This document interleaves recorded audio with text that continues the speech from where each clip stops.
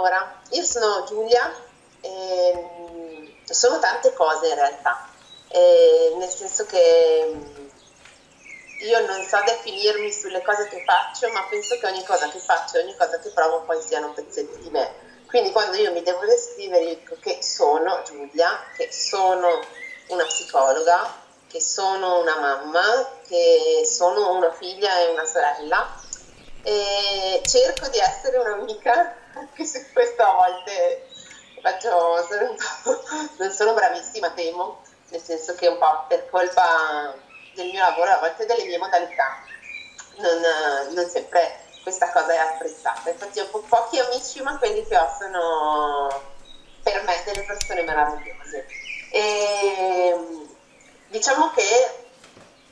ho sempre pensato alla vita come una cosa bella, anche se ci sono stati periodi difficili e io questo penso di doverlo un po' alla mia mamma. La mia mamma è sempre stata una persona, la mia mamma non era una persona esattamente tanto coccola, è, è più una persona da parole, da riflessioni, da gesti, ehm, però non è tanto da uh, bacini, bacetti. Ma io mi ricordo che fin da quando eravamo piccolissimi, una cosa che la mia mamma ogni giorno ci diceva era che non era importante che tipo di risultati avessimo ottenuto durante la giornata, ma era importante che noi la sera guardandoci allo specchio mentre ci lavavamo i denti, ci sistemavamo prima di andare a letto, potessimo dire a noi stessi se eravamo fieri di quello che avevamo fatto, se pensavamo di aver fatto bene, se pensavamo di aver fatto male, se pensavamo di poter migliorare in qualcosa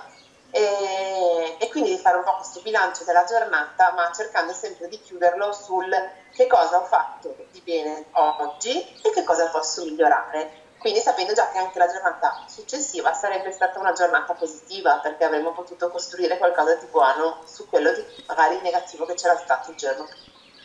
E quindi non lo so, penso che questo mi abbia insegnato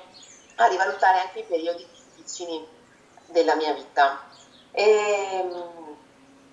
non so nemmeno dire, perché questa è una cosa che mi chiedono spesso, quando uh, io ho deciso che avrei voluto fare la psicologa da grande. E non lo so dire anche perché adesso che lo faccio e adesso che, che lo sono,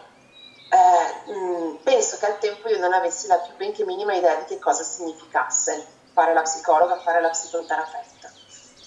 Io so che mh, mm, l'ultimo anno di superiori tutti i miei compagni pensavano cosa fare e io a un certo punto ho detto, bah, io voglio, voglio fare psicologia. Sì, io in realtà appunto sapevo che avrei voluto fare psicologia, ma il perché, il per come, da, da dove fosse nato, sinceramente adesso non lo so dire. Mi capita spesso di sentirmi raccontare che c'era qualcuno che sapeva fin da piccolo che cosa voleva fare nella vita io forse no, nel senso che poi fin da piccola, per carità, mi piaceva stare con le persone, questo sì, mi piaceva, anzi, nove volte su dieci mi piaceva stare con chi aveva casini, più avevano casini più erano amici miei. E, ehm, e questo allora forse denotava un po' l'indole, però non saprei come ho fatto a definire la mia scelta. Sta di fatto che evidentemente è stata una scelta giusta, perché perché poi mi ci sono scoperta e non all'università, nel senso che chi ha fatto o fa psicologia probabilmente sa che durante l'università impari tante nozioni teoriche ma non altrettante pratiche, almeno io per me è stato così. Forse ci ho messo di più le mani quando ho cominciato con i tirocini e soprattutto quando ho finito l'università mi sono eh, abilitata e ho cominciato a lavorare. Io ho cominciato a lavorare quasi subito dopo l'abilitazione e in barba anche lì a chi mi diceva eh no vabbè ma come fai a sentirti pronta? Ma prima devi capire. Insomma alla fine tirocini avevo fatti io mi sentivo in grado di ho provato e mi è andata bene. E, e un'altra cosa come dicevo all'inizio quindi io sono una psicologa e forse al secondo posto delle, delle etichette della mia identità ci metto che sono una mamma. Sono una mamma non solo perché ho due figlie in realtà tecnicamente io di figli ne ho quattro, e in terra ne ho due. E, e, non sono comunque una mamma solo per questi figli che ho, ma eh, sono una mamma perché mi sento materna, cioè io sento quella, quella spinta comunque a eh, sostenere le persone e, e a spingerle affinché camminino con le loro gambe, che io penso sia la cosa essenziale per un genitore. Troppo spesso a volte come genitori ci sentiamo sicuramente responsabili dei, dei, nostri figli e questo lo siamo, ma anche di doverli proteggere, di doverli eh, accompagnare costantemente. Invece io penso che noi dobbiamo stare tra il fianco e il dietro e, e lasciare che poi loro prendano la loro strada, eventualmente aggiustando il tiro, dando una mano a loro a aggiustare il tiro quando ce lo chiedono. E io in questo mi sento molto materna a 360 gradi e mm, penso che non sia un caso il fatto che eh, la, la, mia frase preferita, che infatti è anche tatuata sul mio braccio, è, è sì, un arcobaleno tra le nuvole di qualcun altro, cioè quel fatto di riuscire ad essere quel poco di, eh, di buono e di, di solare, di luminoso che ci può essere per dare la spinta agli altri a credere in se stessi ed andare avanti con le loro gambe anche quando sono in difficoltà. Dicevo che questo, questa probabilmente la seconda etichetta che mi darei perché anche questo fatto di diventare mamma, almeno a livello fisico, diciamo, a livello concreto, è stata un'altra di quelle esperienze nella vita che mi ha segnata e mi ha cambiata. E, io ho sempre desiderato, questo sì, posso dirlo, ho sempre desiderato di diventare mamma, ma eh, proprio perché sapevo che questo desiderio poteva farmi fare degli scivoloni molto grossi che non sarebbero stati opportuni né per me né per un eventuale figlio, ho sempre cercato di stare molto attenta ad evitare di, di restare incinta quando non era il caso. Tanto che eh, nonostante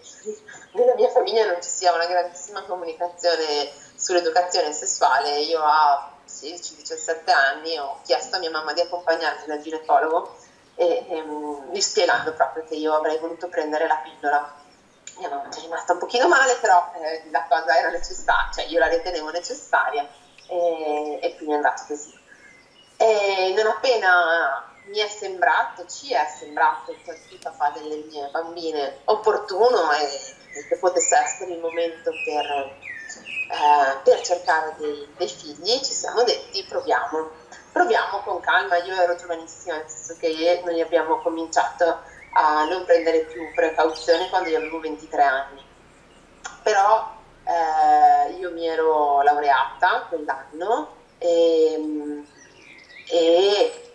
tutto sommato ci sentivamo a posto, avevamo comprato casa eh, insomma avevamo cominciato a vivere una vita un po' più stabile anche se per esempio a livello uh, la- lavorativo io sapevo che davanti avrei moltissima gavetta ancora, dovevo ancora fare il tirocinio post laurea, dovevo fare l'esame di Stato, avrei dovuto sicuramente cercare un lavoro e, o aprire una partita IVA, sapevo che davanti avrei avuto ehm, la, la scuola di specializzazione, quindi un sacco di cose a livello lavorativo, però ci sentivamo abbastanza stabili. E non ci siamo tanto intestarditi nella ricerca proprio perché comunque eravamo giovani e, e quindi andava come andava. Finché eh, a gennaio del 2013 io mi sono accorta che erano tipo due mesi che, che non avevo il ciclo mestruale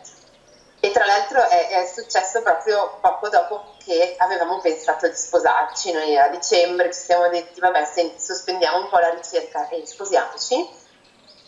E, e appunto poi quindi non ci stavamo più pensando e poi mi sono accorta che in realtà erano già due mesi che, che io non avevo il ciclo e questa cosa era strana. E quindi ho fatto un test ed era positivo ed era tutto bellissimo e tutto mi sembrava perfetto anche perché eh, stupidamente e ingenuamente ho sempre dato per scontato che solo a chi eh, fosse magari troppo vecchio oppure troppo disattento potesse succedere qualcosa di, di male. E, in un periodo così meraviglioso come può essere quello della gravidanza. E abbiamo fatto le prime visite ed andava tutto bene. E non l'abbiamo detto a tuttissimi, nel senso che l'abbiamo detto alle nostre famiglie e, e poco altro, perché nonostante tutto ehm, sapevo che il rischio nel primo trimestre insomma, c'era eh, la, mia, la, mia, mamma stessa aveva perso un bambino, quindi insomma un po' eh, di, di scaramanzia c'era. Poi insomma eravamo arrivati al quarto mese, la pancia si vedeva e tutto quanto, quindi abbiamo cominciato ad annunciarlo e poco dopo questi annunci ehm, qualcosa è andato storto, non si sa ancora bene cosa e, e probabilmente non si saprà mai. E, e, abbiamo scoperto che il battito si era fermato e che quindi il nostro bambino a quel punto non era più con noi. E è stata una botta, è stata una botta anche perché purtroppo non, ho, non c'è stato intorno a noi un, un grosso supporto. E,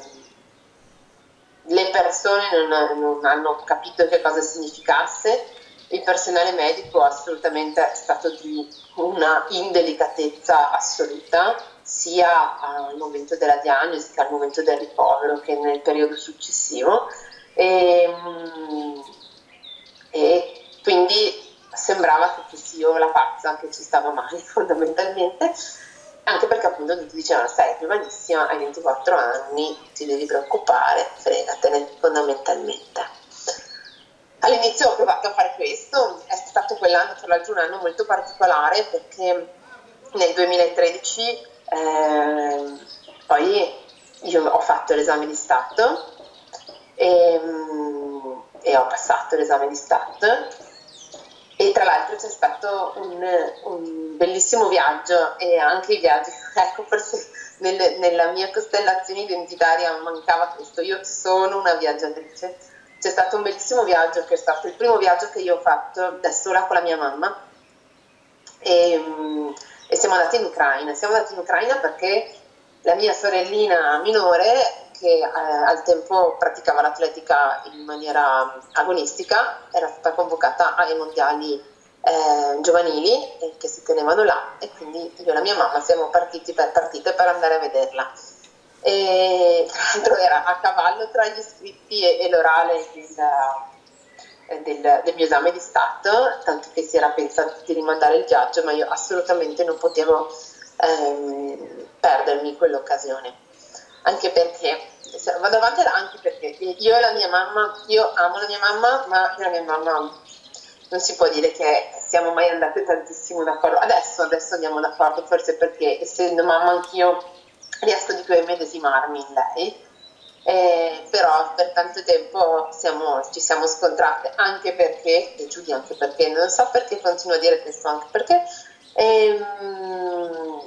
eh, io penso di essere stata una di quelle figlie che avrebbe avuto a volte bisogno anche di quelle carezze che invece da lei venivano un poco per indole. Adesso comincio a capirlo, però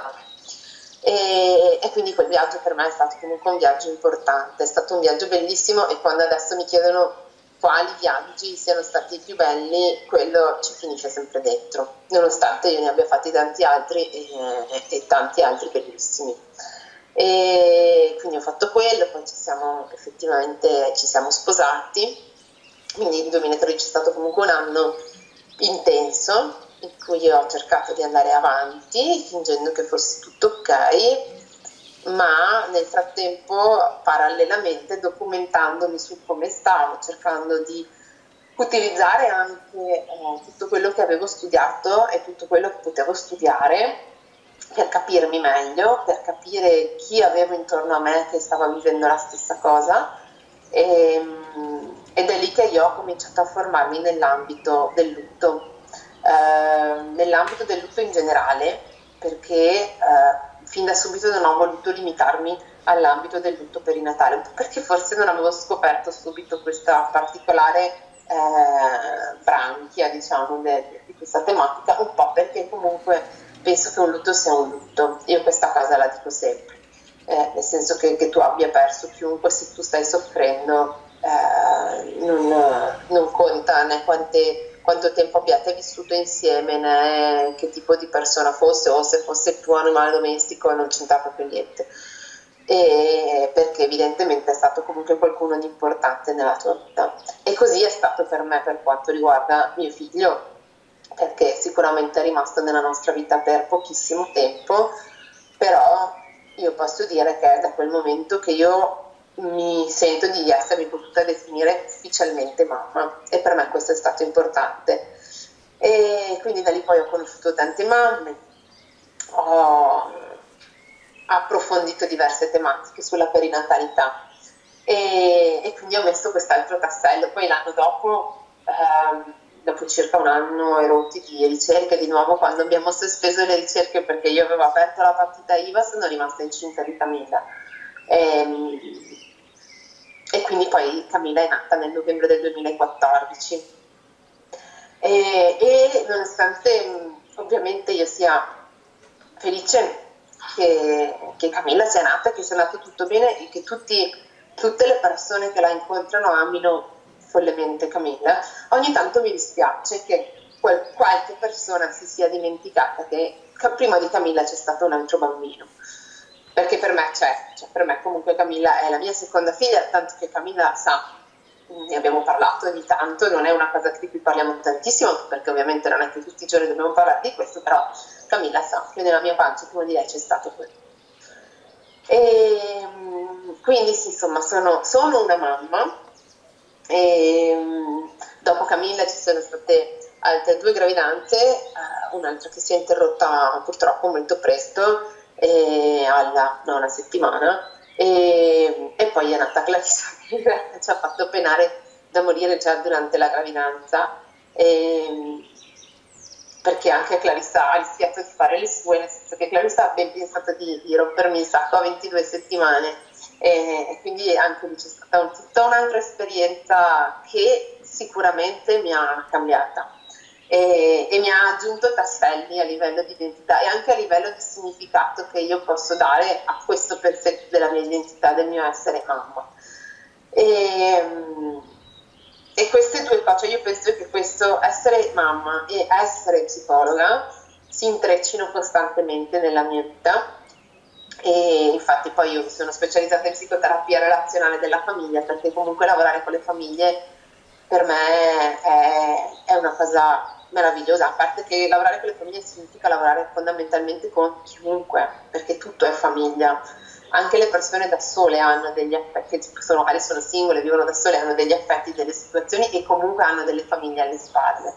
E, e quindi in realtà lavorare con le relazioni con la famiglia significa lavorare un po' a 360 gradi.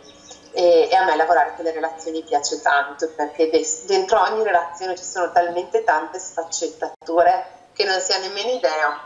Un'altra cosa che mi chiedono spesso è eh, se non è pesante lavorare costantemente con eh, il, il, dolore degli altri, se non è pesante sentirmi raccontare continuamente le lamentele, le frustrazioni degli altri. E io a questo rispondo sempre che io non lavoro con il dolore degli altri, io vedo rifiorire il sorriso sulla faccia degli altri, e, um, vedo le persone che stanno male, che questo è il mio lavoro, il mio lavoro non è raccogliere il, il dolore, il mio, il mio, lavoro è far evolvere il dolore e, e, e dargli il senso a quel dolore, dargli uno, uno spazio e farlo diventare una cosa che fiorisce. E, e, quindi anche in questo io mi sento appunto materna, nel senso che lo dicevo prima, no? di, di essere lì di fianco a darti la spinta e dirti io mi fido di te io mi fido di te e, e, so che tu ce la puoi fare, so che tu puoi arrivare dove vuoi arrivare, so che tu puoi essere felice. Felice nel senso che tu dai a questa parola. E, e a queste due che si intrecciano, quindi all'essere mamma e all'essere psicologa, si intreccia sicuramente la terza cosa che dicevo prima, che è l'essere viaggiatrice. E, di nuovo in questa cosa viene fuori mia mamma, cioè sembra che mia mamma venga fuori spesso nella mia vita, vero? E, mia mamma è una viaggiatrice, l'è sempre stata. E forse ecco, mia mamma è poco mamma in questo, nel senso che lei è sempre stata una donna di mondo, che vive nel mondo e io le ho sempre detto che lei sarebbe stata una fantastica, eh, come si dice, missionaria, che sarebbe stata una persona abilissima nel sostenere gli altri e solo che a volte questo è pesato a noi come figli perché eh, necessariamente il suo esserci per tutti a volte a noi dava l'impressione che togliesse qualcosa a noi. E, però appunto mia mamma è una viaggiatrice e siccome invece mio papà non lo è, perché non è esattamente una persona che si adatta ai viaggi di questo genere, mia mamma partiva con noi anche quando eravamo piccolissimi e ci ha abituati a viaggiare, ma a viaggiare nel vero senso della parola, ovvero andare nei posti, scoprire i posti, eh, stare con le persone, conoscere i gusti, conoscere le abitudini, conoscere la lingua, quindi avere, cioè, veramente immergersi nelle culture altrui. E, e, io poi ho imparato che non serve andare lontano a volte per viaggiare, perché puoi viaggiare anche sotto casa e conoscere eh, la, il punto di vista differente dal tuo che ha il tuo vicino di casa. E, e questo secondo me in psicoterapia è fondamentale, perché è, è fondamentale ricordarsi che non c'è e non ci può essere giudizio in nessuna cosa che ti viene raccontata eh, perché ognuno sa che cosa significa aver camminato nelle proprie scarpe, ma non sa cosa significhi camminare nelle scarpe degli altri. E, e quindi io sono una viaggiatrice e amo viaggiare. Se fosse per me mia, il mio anno sarebbe fatto di 5 mesi lavoro, un mese viaggio, 5 mesi lavoro, un mese viaggio. Non sempre è possibile, però a me questa cosa piacerebbe tantissimo, zaino in spalle di andare e, e, anche questo mi ha dato tanto. Mi ha dato tanto nel pensare che la vita sia una cosa bella, perché ho incontrato t- talmente tante persone, sia quelle abbattute dalla vita, eh, che a volte da fuori ti accorgevi quanto facessero fatica a notare i lati positivi eh, della loro vita e quindi ho imparato che è importante invece soffermarsi sui dettagli sia perché invece ho conosciuto talmente tante persone che sono state toccate eh, malamente dalle, dalle, situazioni della vita e nonostante questo si sono rialzate o forse non sono addirittura mai cadute eh, e riescono a, a, sorridere e che ogni tanto mi viene da pensare che io non posso fare altrimenti che ogni cosa deve avere un significato e che il significato di fatto glielo diamo noi e, e glielo diamo noi decidendo se vogliamo splendere e quindi essere felici oppure se vogliamo pensare di non valere la pena nemmeno del nostro stesso sorriso. Però questo io penso che lo decidiamo noi se possiamo, ci sono sicuramente, adesso non voglio sminuire le situazioni in cui questa cosa diventa difficile, e, ehm, e, non per niente nel mio lavoro io incontro le persone che si trovano in difficoltà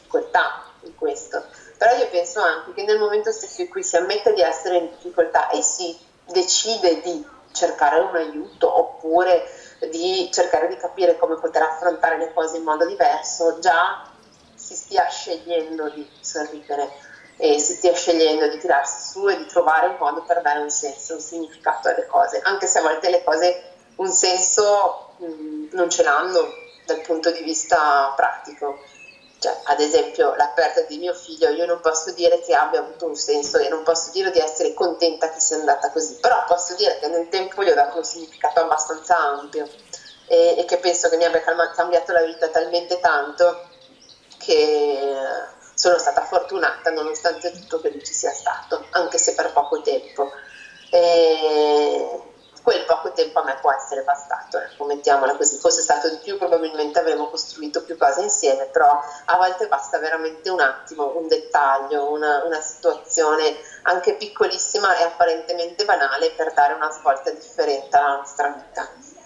E penso che questo sia un concetto fondamentale.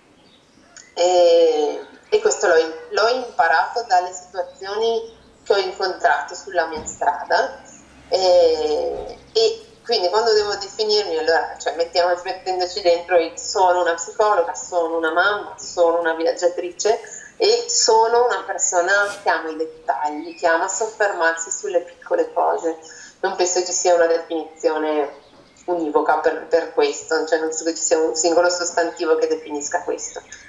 E, ehm, e, e niente, quindi questi sono i pezzetti di me che mi compongono e forse, ecco, forse ce n'è un altro, sono prolissa, sono capace di parlare per ore e ore e ore e ore ore, ma anche questo per me ha un significato, perché nel tempo ho imparato quanto importante sia parlare, quanto sia importante dialogare, dirsi le cose, esprimere le emozioni, eh, dare, cioè, verbalizzare nel vero senso della parola, di metterlo nero su bianco, anche solo dicendolo ad alta voce, quello che si pensa e quello che si prova, perché pur essendo noi animali sociali, eh, non sempre abbiamo istinto a sufficienza per comprenderci gli uni con gli altri, se invece verbalizziamo ci concediamo di essere compresi ed essere comprensibili, perlomeno. Non tutti ci capiranno, però questo non è fondamentale dal punto di vista. È molto più importante che noi ci sentiamo di essere comprensibili. Poi il fatto di essere effettivamente compresi è un plus, è sicuramente una cosa che ci fa star meglio, però eh, non è indispensabile. E quindi dicevo, sono prolissa, io parlo costantemente. Mi piace parlare, però mi piace parlare anche eh, con i gesti, con, con i, appunto, i dettagli. No? Mi viene in mente un'altra cosa di me che su, su questo argomento del parlare, del comunicare, penso abbia per me avuto un grosso significato. E, ed è il fatto di essere cresciuta al lago e in particolare di essere cresciuta fondamentalmente in acqua, perché quando io ero piccola riuscivo a stare in acqua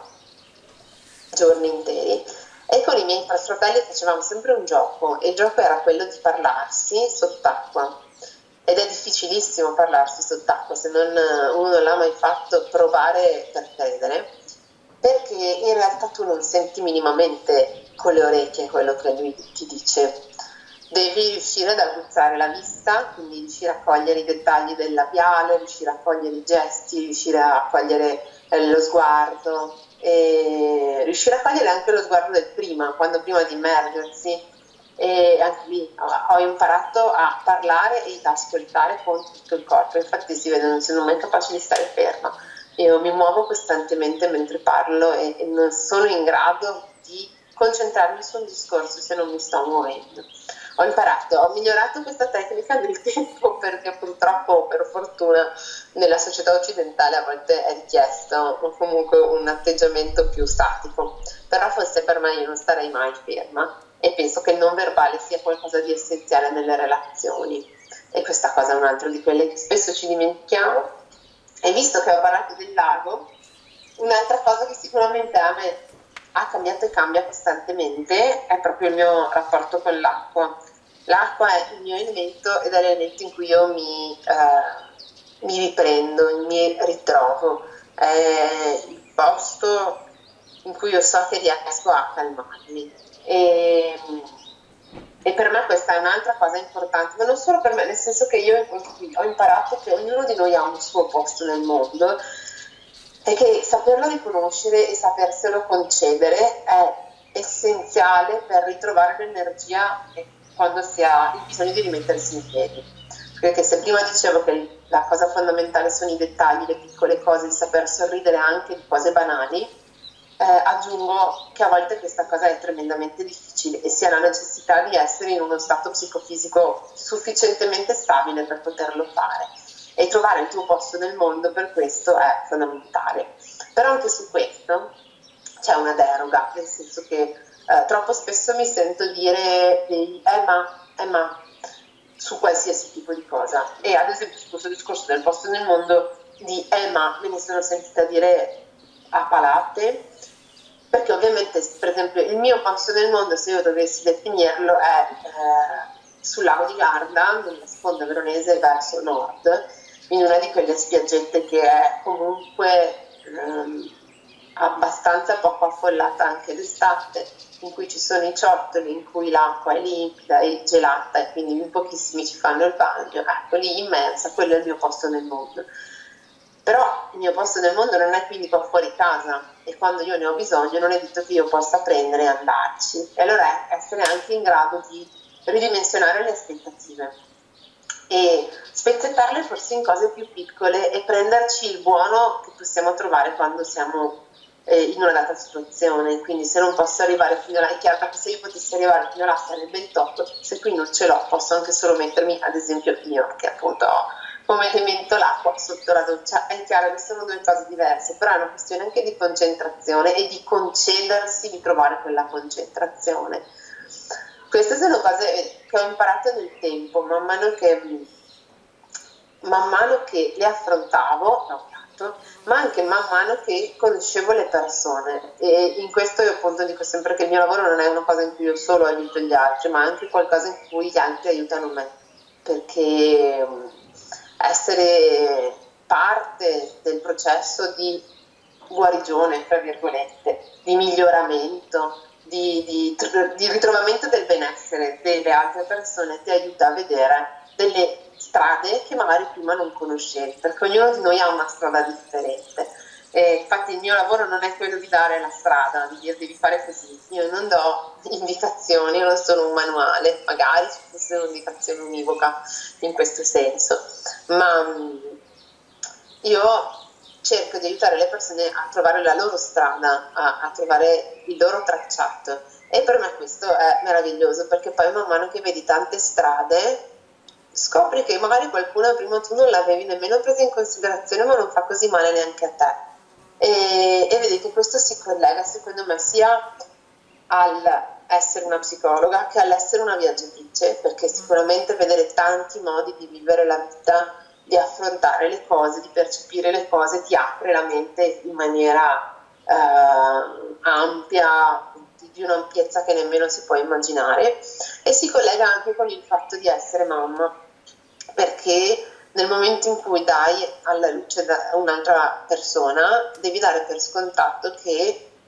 quella persona sarà diversa da te e avrà modi diversi dai tuoi e avrà modi diversi dalle tue aspettative. Siccome quella persona l'hai messa al mondo, tu a volte hai delle aspettative molto specifiche e non è detto che vengano uh, assecondate, che trovino risposta e, e, inevitabilmente questo ti mette a confronto con te stesso e con le tue aspettative.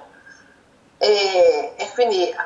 tutte queste cose si collegano costantemente dentro di me e nella mia vita e nella mia storia si collega costantemente questo confronto e questo cercare nuove strade che magari poi le, le, prendi, cominci a camminarci dentro e scopri che no, non è una strada che fa per te e quindi devi tornare indietro e prenderne un'altra. Però intanto quel pezzetto di storia ti ha detto qualcosa di te, forse anche qualcosa che è appunto una cosa che non ti piace, ma meglio scoprirlo e, e sapere che non ti piace piuttosto che non scoprirlo mai. E poi c'è un'altra cosa che mi caratterizza oggi, non sono così convinta che mi caratterizzasse in passato, o meglio, penso che mi caratterizzasse in passato, ma come eh, nella stragrandissima maggioranza di, dei casi e delle persone nella nostra cultura ehm, anch'io non la facessimo, non la coltivassi, o, ma, o forse neanche, non è neanche una questione di coltivarlo, ma proprio di farlo vedere. Ed è um, l'estrema, infinita importanza che uh, io do alle emozioni e al verbalizzare le emozioni tutte le emozioni, noi non siamo assolutamente abituati e io sto facendo una battaglia eh, infinita sia sui social che per esempio con le mie bambine o con uh, i bambini uh, insomma, so, dell'asilo dove loro vanno e cose di questo genere, eh, sulla, proprio sull'educazione emotiva, sull'imparare a, a concederci le emozioni innanzitutto e quindi di ammettere a noi stessi quando siamo tristi, arrabbiati, felici, eh, soddisfatti, cioè quindi riuscire a riconoscere noi per primi e poi riuscire a concederci di dirlo ad alta voce agli altri senza sentirci in colpo, sentirci sbagliati. E, e anche imparare a far sì che gli altri possano dircelo senza ehm, sminuirli o senza giudicarli. Faccio degli esempi che ne so, quello che può essere il piangere non serve a niente o ma ti arrabbi sempre troppo o cose di questo genere e, e, ho imparato nel tempo perché appunto io penso di essere una persona molto emotiva e, ma molto poco educata alle emozioni, un po' per i motivi che dicevo prima familiari, un po' per la cultura dominante in cui comunque eh, noi siamo immersi. E, e, penso che anche questo faccia una gran parte di, di tutte le dimensioni che mi compongono, forse in particolare di quelle tre di cui parlavo prima dell'essere psicologa, essere mamma ed essere viaggiatrice. Cioè per me poter esprimere, poter dar voce alle emozioni e, e, sapere che tutte le emozioni sono positive è fondamentale. Quante volte anche in studio mi succede che qualcuno arrivi e mi racconti la sua storia, che spesso è comunque una storia eh, drammatica o, o comunque con, dei, eh, con, delle sfaccettature complesse e quindi gli venga da piangere mentre me la racconta. E, e quando gli viene da piangere spesso le persone si scusano. E, e a me è lì, è lì che proprio mi viene dire no, perché scusare, questa cosa io anzi la dico, è, è, una delle cose che io dico, le prime cose che io dico a una persona quando arriva in studio da me, che è che eh, da me eh, non ci si scusa perché si piange, ma anzi eh, si è assolutamente in diritto di piangere così come di arrabbiarsi, così come di alzare la voce per quanto mi riguarda, ovviamente non di alzare le mani, però per quanto mi riguarda se è una cosa che viene fuori o perché tu me l'hai raccontato o perché io ti rimando una, un tipo di riflessione che ti fa incazzare, sei autorizzato anche ad incazzarti, sei autorizzato a ridere, sei autorizzato a rimanere in silenzio, sei autorizzato a fare quello che ti senti. E infatti io vedo poi tutte queste cose ehm, che mi compongono a un certo punto della vita. Io le ho, le ho messe uh, nero su bianco sulla mia pelle e io ho un tatuaggio sulla, sulla gamba e, in cui c'è scritto eh, collecting any tears, che vuol dire eh, cioè, collect in inglese significa sia col, collezionare che raccogliere e, ed io mi sento proprio partecipe di questo, no? io le, le, lacrime, sia quelle di gioia che quelle di rabbia, che quelle di frustrazione, che quelle di tristezza, le raccolgo, ma non solo le raccolgo, ma le colleziono, le tengo da parte, nel senso che mm, so quanto ogni singola lacrima, qualsiasi emozione stesse a, a far significare, sia un, un mattoncino fondamentale di noi e, e, quindi penso che le, le, lacrime non vadano né nascoste né dimenticate, ma vadano collezionate, e, oltre che raccolte. Cioè, c'è bisogno che, di qualcuno che raccoglie le nostre lacrime e che ci faccia sentire compresi, nonostante, come dicevo prima, la cosa importante è che io mi senta comprensibile, però essere compreso non è esattamente una cosa da niente. E, e poi dentro quindi a tutte queste cose delle emozioni secondo me c'è un gesto che è un gesto eh, dal mio punto di vista meraviglioso, che però troppo spesso ci dimentichiamo di fare o gli diamo un significato sbagliato, che è quello di chiedere scusa. Io lo vedo, questa cosa io l'ho notata tantissimo dopo essere diventata mamma, mh, mm, perché soprattutto tra genitori chiedere scusa a tuo figlio, soprattutto quando è piccolino, e, ehm, perché ti rendi conto magari di avergli dato una punizione sbagliata o di averlo gridato inutilmente, è una cosa che viene percepita come una perdita di autorità, quando in realtà secondo me chiedere scusa eh, è, è, il primo gesto di autorità, perché se io posso concedermi di ammettere di aver sbagliato, significa che io so anche riconoscere quando invece magari faccio giusto e che io so mettermi in discussione, che quindi sono una persona eh, la cui autorità ha una validità, io non sono autoritario, sono autorevole, sono credibile. E, e vedi, poi si torna sempre là. Io penso che una delle cose che mi ha, mi ha salvato nella vita, mi ha dato la spinta a, a mettermi in gioco su tanti fronti sia stato proprio il fatto che la mia mamma a un certo punto, ehm, più o meno quando io avevo 18-19 anni, in un certo senso mi ha chiesto scusa. Mi ha chiesto scusa nel senso che uh, ha riconosciuto anche lei e verbalizzato il fatto che noi due siamo diverse e per certe cose non ci capiamo e che lei come mamma uh, ha fatto il possibile, ha cercato di fare del suo meglio, ma si è resa conto che non è sempre andata per il verso giusto. E, e, questo per me è stato fondamentale perché mi ha fatto capire che ah, io posso fallire e non succede niente, perché se ha fallito anche lei e mi ha chiesto scusa e siamo ancora tutte e due qua, non succede niente. B, io posso chiedere scusa. C, io a volte posso fare del mio meglio e comunque non ottenere i risultati sperati, perché non sempre dipende solo da me. E, e ultima cosa che io posso sempre continuare a fare perché anche se sbaglio, anche se chiedo scusa, poi posso ripartire. E, e questi per me sono concetti fondamentali, perché cadere in ginocchio eh, è una cosa che capita a tutti e ci capiterà svariate volte nella vita. Una volta in più è semplicemente una volta in più in cui ti rialzi. E è un po' come leggevo, cos'era forse un aforisma, no? che, che, diceva che, non, che, per esempio dallo psicologo non ci vanno le persone che hanno problemi, i problemi ce li abbiamo tutti, no? Cioè ci vanno le persone che vogliono risolverli. Ecco, secondo me è questo proprio il fatto. Eh, concederti di dire che anche tu puoi avere un problema o una difficoltà e non è solo una questione di andare dallo psicologo perché poi sennò sembra pieno, dica perché la gente va dallo psicologo, ma non è quello il fatto, è proprio il fatto di concedersi di dire ok, va bene, ci sta, ho fallito, non succede niente ho un problema, ce l'hanno tutti, non sono io che sono da meno e non sono perfettamente in linea con quello che gli altri si aspettano di me oppure con quello che io mi aspetto da me. Vabbè, può succedere, a tutti succede nella vita, quindi non sono né più né meno rispetto agli altri. E, e questa secondo me è una cosa importante. E anche se poi c'è lo step successivo che io sto forse imparando a, in questo, quest'ultimo anno della mia vita, con questa cosa mi sono molto allenata, che è proprio il fatto di non confrontarsi con gli altri, ma confrontarsi con i se stessi di ieri e quindi dire ma io rispetto a ieri sono andato avanti, sono andato indietro, sono migliorato, sono peggiorato, ho imparato qualcosa, ho dimenticato qualcosa, eh, ho lasciato andare qualcosa e, e però il confronto è con una persona che ci somiglia, una persona che ha lo stesso background, il discorso no, di, di, camminare con le proprie scarpe, invece confrontarsi con gli altri è sempre un po' sterile fine a se stesso, perché, perché gli altri sono gli altri, non siamo noi. Cioè noi possiamo imparare dagli altri, per carità, perché magari comunque, come dicevo prima, ci danno uno spunto su, strade, su altre strade possibili, eh, però noi non siamo gli altri e quindi eh, io penso che anche questo sia fondamentale,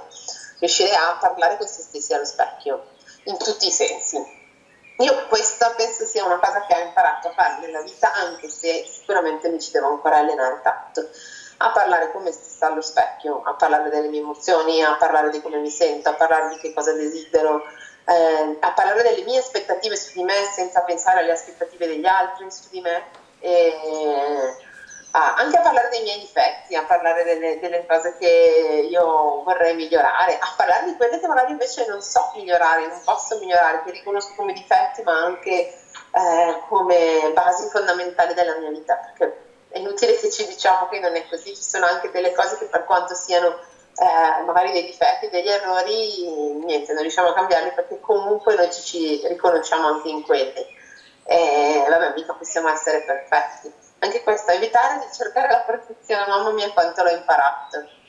quanto le cadute nella vita mi hanno insegnato che andare a cercare la perfezione non solo non ti porta ad essere perfetto, ma ti porta ad essere triste, perché non ci arrivi mai e ogni volta che ti sembra di essere arrivato ti manca un passo e, e quindi non sei mai soddisfatto davvero. E, ed è un peccato perché invece potremmo essere sempre soddisfatti. Non parliamo, vedi, un altro tatuaggio che ho, ma questo è tantissimi anni fa, eh, c'è scritto Pantarei, tutto scorre, tutto va sempre avanti, non fermarsi mai, che tanto le cose scorrono, le cose cambiano, evolvono e, e per me questo è importante. Ma vedi,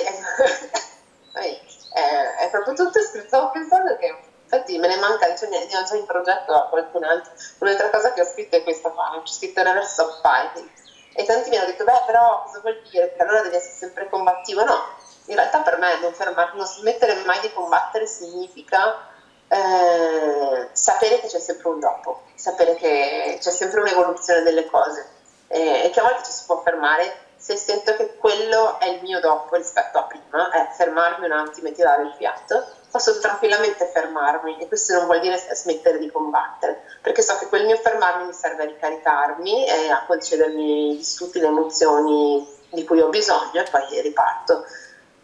E questa è sicuramente un'altra cosa che mi, a me dà tanta carica, anche proprio il fatto di potermi fermare io ho sempre pensato di non doversi fermare mai, invece fermarsi a volte è essenziale. Ribadisco, fermarsi solo perché io scelgo di fermarmi, non perché mi spaventa quello che c'è intorno o perché penso che non ci sia altro da fare, ma mi fermo perché mi rendo conto che io ho bisogno di fermarmi e che il mio passo successivo è quello di fermarmi, poi ci sarà un altro passo successivo e appunto poi tutto scorre.